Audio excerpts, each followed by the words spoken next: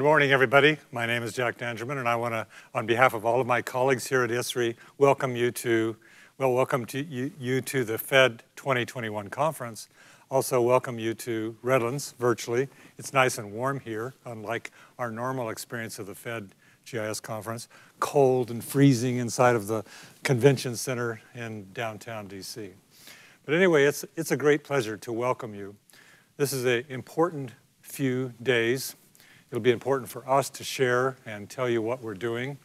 The purpose is always to connect people, to have them share and learn and create a better understanding within our little community. And you are a very interesting audience for me, special, I would say. You're a community of GIS professionals working across the different agencies in the federal government. You have mission work, you have different disciplines, you have different uh, backgrounds in different geographies, and the mission of this year's conference is about interconnecting our national government using GIS and geography. I'll come back to that theme again and again. But I'd like to always start this meeting with a little bit of sharing of your work. This is important work. I mean, it's some of the most important work underway in our country and in the world. You're working on basically all the big issues in natural resources, from climate change to looking at social conflicts and urbanization and development, water resources, all of this. And over the last couple of weeks, I've been looking at examples that you shared with me about your work. Every one of them is an amazing little story. It's an icon of, of what it means to be a GIS professional working in public service. Some of you are working on some of the big issues of environmental monitoring and modeling and assessment. These examples make it clear that we are measuring environmental change, looking at everything from countrywide air pollution to local pollution. This map done by Harvard University on environmental justice and racial equality shows the impact, the disproportionate impact of air pollution on blacks in the South. Last year, we had massive wildfires here in the West, and the map that's brilliant red there on the right is showing the impact of ozone moving across the United States. Actually, more ozone was emitted in those couple of months of wildfires, burning 4 million acres of forest here in our country, uh, than all of the air pollution contaminated for, uh, contaminants emitted by all the vehicles for many years across the United States. Look at the interesting work going on on delivering measurements like air quality and weather to citizens on devices. And then there's this beautiful map that's in the lower right showing airflow modeling at a micro level. Lots of work going on here. In the world of natural resources, we're seeing uh, climate's impact creating change dramatically, like forest change or land cover change or the effect of drought. The map in the upper left is showing the effect of of climate change on specific lakes in Iraq. And I'll just finish by pointing out this one that shows coral and habitat modeling. The changes in the oceans are really dramatic. Your work in natural resource management is outstanding.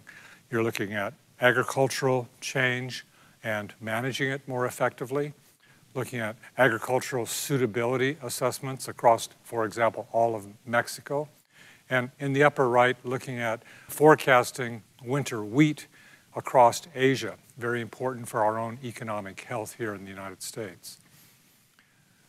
In the field of transportation, GIS has long distinguished the ability to manage and do analytics on transportation systems. And these maps are pretty amazing. The ones in the lower left show RF and ship tracking from traditional means from AIS.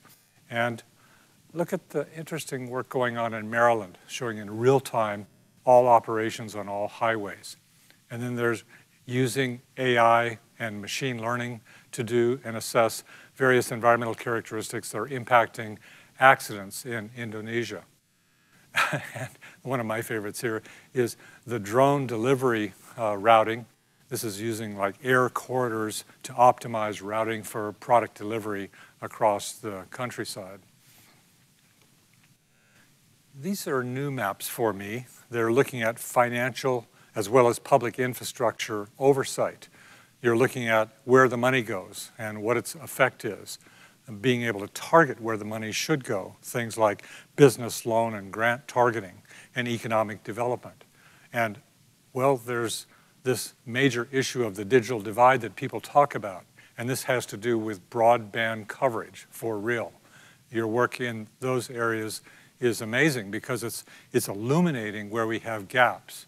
And then there's the more traditional energy and telecom coverage, wind generation, infrastructure across the nation, which does require oversight and understanding for us to make our country better. GIS has been moving recently into the field of buildings and facilities, modeling complete buildings with BIM models and then bringing them into GIS.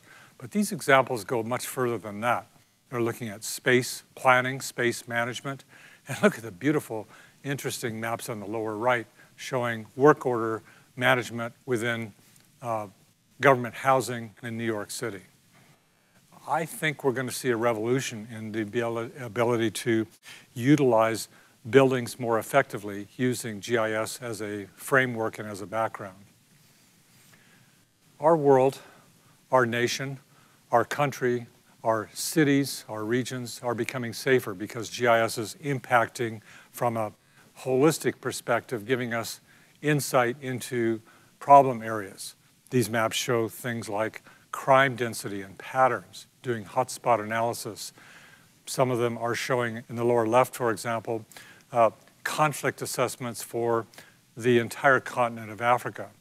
And then there's looking at managing statewide emergency management issues. GIS has long distinguished itself, or you have distinguished GIS, I would say, in the area of disaster preparation and response. These examples show everything from debris recovery to fire change to hurricane impacts to hurricane awareness and uh, flooding. All, all of these things, uh, organizations like FEMA and individual agencies are working on systematically using geography as a foundation. In the last few decades, remote sensing, imagery, LIDAR, in more recent times have become a major part of GIS. And these examples show your work in everything from simple vegetation mapping to looking at building change analysis in geographies and cities. We're seeing from satellites the ability to track vessel movements and discrepancy between AIS feeds and RF feeds. These are interesting issues that the remote sensing gives us that we've not been able to see in the past. Mapping and cartography are, are just the language of GIS, we might say. And these examples show us some real interesting work. You're making, for example, beautiful forest maps so that people, visitors, can have access to and visualize forests in new ways. Other examples show us the, the mysteries of coral reefs around the world, the good work from Conservation International. And uh, USGS, through their 3DEP program, is not only allowing us to see and analyze more effectively terrain, but also providing beautiful backdrops, for example, this soil and ecological mapping thematic map. Portals, one of my favorite subjects, enabling open data and citizen engagement allows us to make our data available. And these are a few of the examples. Crowdsourcing information, getting data in, for example, the mapping of trees or doing citizen science, but also the ability to provide open data to organizations, community portals, the education statistics, uh, the data hub, for example, for COVID, uh, done by HHS. These are amazing contributions. And then what I'm seeing systematically is more of you are building interactive applications so that people in a browser can do, example, for example, watershed analysis, or they can do uh, their own discovery of the best location to do uh, register their, their votes. Uh, and again, I'll draw your attention to one of my favorites, which is the spatial bibliography that was done by NOAA. It's really opened up all the publications around Alaska and allowed people to browse and look and examine this information.